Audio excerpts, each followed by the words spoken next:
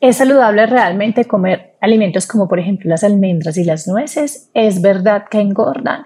Porque yo no recomiendo comprar en cualquier lugar los frutos secos y las semillas. Bueno, hoy te voy a responder estas preguntas.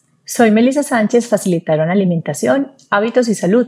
Acompaño a las personas para que puedan conocer su cuerpo, conocer los alimentos y conectarse con un estilo de vida saludable que realmente se adapte a ellas. También soy profesora de cocina saludable y alimentación consciente. Hoy quiero compartir contigo un video donde hablaremos sobre los frutos secos, como lo son, por ejemplo, las nueces, las almendras y las semillas, como por ejemplo las semillas de girasol, la calabaza y el sésamo, para que aprendas cómo aprovechar sus beneficios y sepas todo lo que necesitas para saber saberlas elegir. Entonces vamos a comenzar. Estos son los temas que vamos a ver hoy y vamos a empezar definiendo qué son los frutos secos. Este tipo de frutas se definen así porque ya se encuentran en un estado de poca agua en la naturaleza, es decir, que tú en los árboles o en los arbustos en que ellas crecen las encuentran secas. Son como una especie de frutos que están rodeados de una cáscara dura, como puedes ver en la imagen, y que por dentro tienen una semilla que es comestible y que nos aporta muchos nutrientes. Por eso se llaman frutos secos. No son lo mismo que las leguminosas, aunque hay algunas personas que confunden este tipo de semillas porque las leguminosas vienen en vainas y tienen propiedades diferentes. Además, las frutas secas suelen comerse crudas, mientras que las leguminosas no.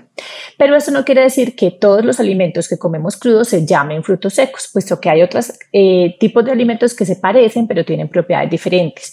Entonces, aquí te estoy compartiendo una lista de algunos ejemplos de los que son frutos secos, que especialmente son el grupo de las nueces, pero también quiero aclararte cuál no son frutos secos. Y lo primero es que entiendas que las frutas desecadas o deshidratadas, como por ejemplo las pasas, los arándanos, los albaricoques, las ciruelas pasas, no se llaman frutos secos. De hecho, se llaman frutas desecadas porque ellas fueron deshidratadas eh, a través de diferentes métodos para que las pudiéramos consumir así. Y su contenido de fructosa de algunos carbohidratos es mucho mayor que el de los frutos secos. Entonces es importante que diferencies porque si no vas a cometer errores en el momento de hacer un balance de plato. Las maíz tostado o, por ejemplo, leguminosas tostadas, como por ejemplo lentejas tostadas o los em, garbanzos tostados tampoco son frutos secos. ¿Y por qué te aclaro esto? Porque hay muchos paqueticos en los que tú encuentras un mix de todas estas cosas donde puedes encontrar almendras, pero también encuentras arándanos y también encuentras maíz tostado y puedes confundirte y crees que estás comiendo frutos secos. Es importante aclararte que yo recomiendo el consumo de los frutos secos, pero no recomiendo el consumo ni del maní ni de la soya. Y te voy a decir tres razones. La primera es que el maní y la soya no están clasificados dentro de los frutos secos. Ellas son leguminosas y tienen unas propiedades que son algo diferentes.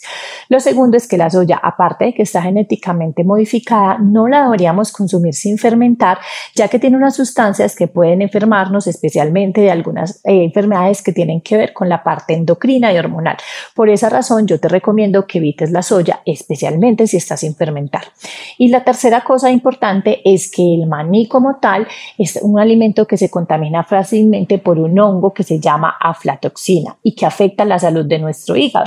El problema es que hay una normatividad que exige que haya unos niveles máximos de aflatoxina, pero como la normatividad en Colombia no hay un seguimiento como tal que garantice ese cumplimiento, las malas prácticas están haciendo que el maní esté muy contaminado y que esté generando bastantes problemas de salud. Más adelante te voy a contar un video sobre esto, pero por ahora yo te sugiero que si vas a consumir maní sea de un proveedor que sea 100% confiable y que te garantice la trazabilidad y las buenas prácticas en la manipulación, almacenamiento y eh, cantidades de aflatoxinas en este alimento. Entonces vamos a continuar. Ahora vamos a hablar de las semillas. Las semillas son otros alimentos que también muchas veces podemos comer crudos, como por ejemplo son las semillas de girasol, las semillas de calabaza, las semillas de cáñamo y hay muchas más y que también nos aportan una buena cantidad de nutrientes. La diferencia con los frutos secos es que las semillas no vienen con una cáscara dura, sino que ellas normalmente vienen dentro de la naturaleza, ya sea dentro de algunas frutas, flores, por ejemplo, como las semillas de, de girasol. Entonces tienen unas características diferentes en el entorno natural, pero las propiedades nutricionales son muy similares a las de los frutos secos y por esa razón es que yo hoy te quiero compartir cómo comerlas en conjunto. Entonces hoy vamos a hablar de los frutos secos y las semillas. Ahora, hablemos un poco de los beneficios. Los frutos secos y las semillas Eh, tienen una cantidad de grasas que es bastante significativa y es una cantidad que, que es alrededor del 50%, algunas veces más. Lo importante es que son perfiles de grasas muy saludables, incluso muchas de ellas, como por ejemplo las semillas de cáñamo, las semillas de linaza y las de chía, son ricas en omega 3. También es importante que sepamos que las nueces y todas estas semillas aportan una buena cantidad de algunas vitaminas y minerales que son fundamentales en nuestra alimentación. Y también tienen cierta cantidad, un poquito más pequeña de proteínas y una cantidad baja de carbohidratos. Esto todo es importante porque muchas personas les da miedo consumirlas, ya que anteriormente se creía que los frutos secos y las semillas engordan. Entonces, una de las preguntas más comunes es, ¿las frutas secas y las semillas engordan? Me han dicho que si consumo muchas nueces me puedo engordar. Bueno, digamos que esto es parcialmente cierto, porque eso ya va a depender de tus características metabólicas. Entonces, según la visión tradicional de la dieta que habla de que tenemos que contar calorías, pues estos alimentos son altamente calóricos porque, como ya te dije, tienen una riqueza en grasas saludables. El tema es que cuando ya no lo vemos desde el número de calorías, sino que hablamos de nutrición de acuerdo a tu genética, a tu metabolismo, pues hay unas personas que necesitamos mayor cantidad de proteínas y grasas en nuestra alimentación y que las vamos a utilizar como fuente de energía y hay otras personas que necesitan poca cantidad. Entonces, dependiendo de cómo es tu actividad, de cómo es tu metabolismo y cómo son tus características genéticas, vas a poder saber cómo balancear el plato y cómo incluirlas en tu alimentación. Recuerda que esto es diferente para cada persona y que si quieres conocer cómo es tu cuerpo y, aprender a comer de acuerdo a esas necesidades que tú puedes tener de forma individual, yo puedo acompañarte en ese proceso. Pero resulta que no todo es bueno cuando hablamos de frutos secos y semillas. Como todos los alimentos, ellas pueden también tener unas desventajas. La más conocida y la principal es que pueden ser factores que despierten alergias o intolerancias en las personas. ¿Por qué sucede esto? Los frutos secos y las semillas contienen algunos grupos de proteínas que pueden actuar como activadores de alergias e haciendo que reaccione tu sistema inmunológico. Algunas personas presentan mayor sensibilidad a esas sustancias y no quiere decir que esas personas sean alérgicas a todos los frutos secos y las semillas, sino que por lo general es a alguno específicamente. Entonces, algunas personas eh, presentan alergias graves o alergias, eh, digamos que suaves, que llamaremos intolerancias o sensibilidades ante alguna de esas eh, de alimentos que están en este grupo, como por ejemplo algunas personas son intolerantes a las semillas de girasol o algunas personas pueden presentar cierta sintomatología cuando consumen almendras. Debes estar atento a si tú sientes algún tipo de cambio cuando estás comiendo alguno de estos alimentos. Por ejemplo, hay algunas personas que me han comentado que cuando comen almendras les da dolor de cabeza o sienten enrojecimiento, cierta picazón, a veces hay hinchazón abdominal, pero también ya pueden haber síntomas mucho más graves de alergia, como por ejemplo que la persona se brote, se llene de ronchas o que ya empiece a sentir que se le cierra la garganta y otros síntomas muy, mucho más graves.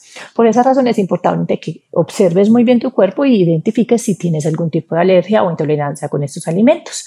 Bueno, y llegamos a nuestra parte final, que es la parte que yo considero que es más importante de este video, porque resulta que los frutos secos y las semillas hay que saberlos comprar. Ellos, a pesar de que se llaman secos, no son 100% secos, pueden tener hasta un 50% de humedad y por eso son susceptibles a contaminarse con hongos cuando no se almacenan bien. Además, también son muy fáciles de contaminarse por polillas o por gorgojos que muchas veces contaminan todos tipos de granos. Entonces, si quiero decir algunas claves para que observes en el lugar que lo compras, para que elijas un buen producto de calidad y para que también lo guardes adecuadamente en tu, en tu casa. Son siete claves. La primera, cuando vayas a comprar los frutos secos y las semillas, procura seleccionar un buen proveedor y esto quiere decir que algunas veces, no voy a decir que siempre, lo barato sale caro. Entonces hay veces que tú estás seleccionando un lugar porque es el más económico, pero puede ser que ellos estén consiguiendo los frutos secos en lugar, con importadores que no tienen suficiente cuidado con las buenas prácticas y el manejo de estos eh, alimentos y que pueden ya llegar contaminados acá a Colombia con hongos, especialmente aflatoxinas. Así que empieza a mirar hasta qué punto el lugar donde lo compras, si es demasiado económico, podría tener un producto de baja calidad y para eso te va a decir otros seis tips adicionales. Entonces, segundo tip, procura que el empaque que estás en el que vienen los productos, sean frutos secos o semillas, sea grueso, y preferiblemente oscuro. ¿Cómo así? Muchas de estas nueces o semillitas vienen en bolsas de polipropileno, que son esas bolsas que son muy delgaditas. Y resulta que eso lo rompen fácilmente las maripositas y con sus paticas lo rompen. Esos huequitos muchas veces no se alcanzan a ver, pero ahí pusieron huevitos. Entonces, tú las compraste con huevitos de maripositas. Eh, aparte también se pueden contaminar con otros insectos como por ejemplo los gorgojos. Y además si la, la bolsita tiene unos huequitos, así sean muy pequeñitos, les va a estar constantemente entrando oxígeno y van a tener un contacto con la humedad, se pueden enranciar ponerse blandas, dañarse y además también les podría dar hongos. Además, estos empaques cuando son muy delgaditos, pues pueden romperse fácilmente y pueden causar que cualquiera de estas cosas que ya te, eh, te comenté ocurran más fácilmente. Entonces es importante que el empaque sea preferiblemente grueso. Ahora, lo segundo, que sea oscuro. Yo sé que en Colombia no se consiguen todas las semillas en empaques oscuros y muchos son transparentes, incluso los que vienen en frascos. Pero lo que sí es importante es que si no es un empaque oscuro, pues busques un lugar donde las condiciones de luz y de temperatura sean controladas, es decir, que no haya una luz directa y especialmente que no les dé directamente el sol, porque eso puede dañar la calidad de las semillitas que estás comprando. Muy bien, vamos a nuestro tercer tip y es que si tú las compras a granel, revises muy bien la forma como almacenan esas semillas en el lugar de la compra. Yo ya he visto que muchas personas por el tema de ecología y de sostenibilidad compran a granel. Yo no voy a decir que no lo hagas porque creo que también esto podría ser una buena práctica, pero lo que sí te sugiero es que revises muy bien el lugar donde lo estás comprando.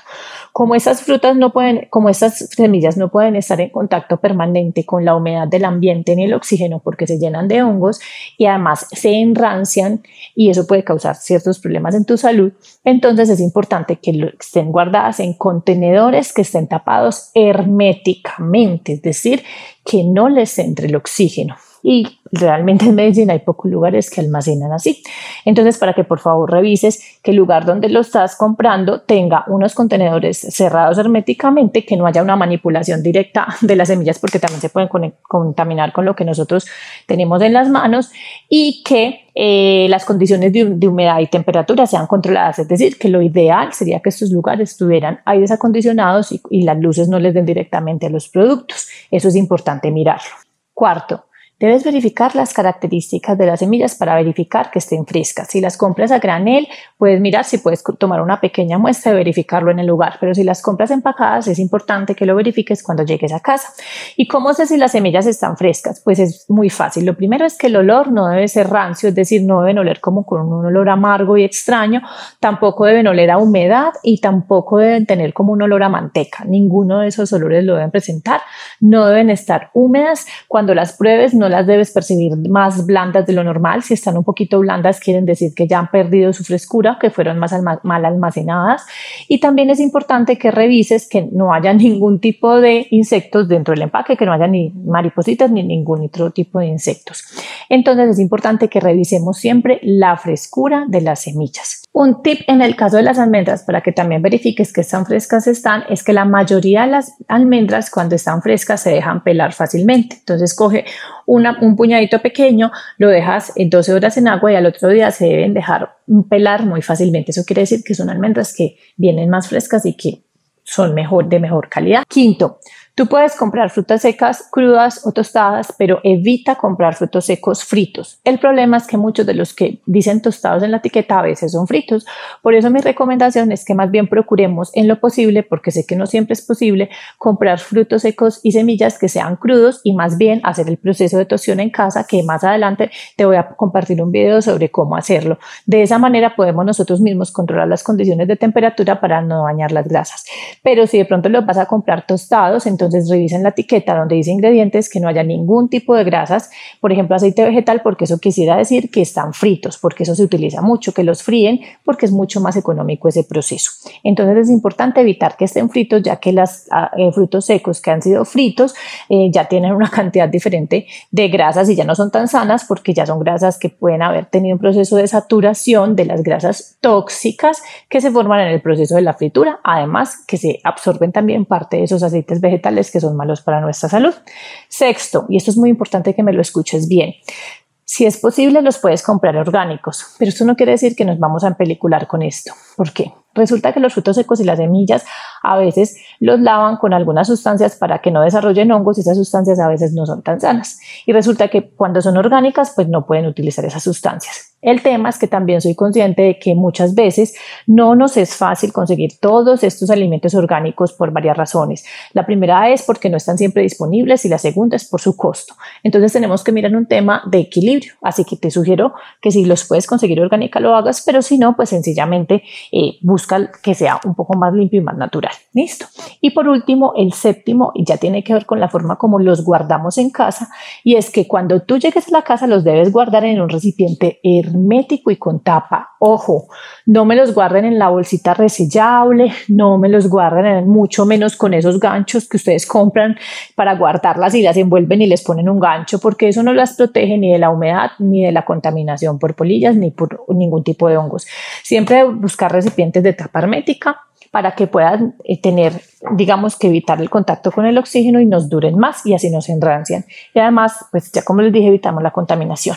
Importantísimo. Si tú guardas tus frutos secos y semillas de forma adecuada con recipientes de tapa hermética y al cabo de algunos días o un par de meses ves que tienen polillas o algún tipo de insectos, debes revisar con tu proveedor qué está pasando porque eso quiere decir que el producto ya está llegando contaminado a tu hogar. Muy bien, espero que todos estos tips te sirvan. La próxima semana te voy a estar compartiendo alguna información adicional sobre cómo activarlos y qué tener en cuenta al comerlos y una receta. Nos vemos en próximos videos y espero que este te haya ayudado para que puedas comer estos alimentos con más confianza.